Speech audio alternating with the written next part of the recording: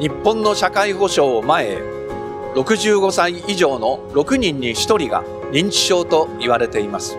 公明党の調査では認知症になることを心配している人が64%に上りました。公明党は認知症の予防や早期発見治療などの支援体制地域ケアの充実を強く進めてきました。さらに認知症基本法の制定をリードします。日本を前へ公明党。